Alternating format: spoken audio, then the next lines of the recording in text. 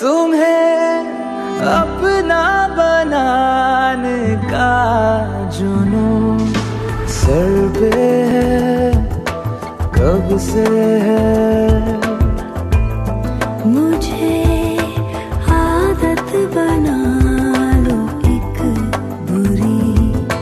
कहना ये तुमसे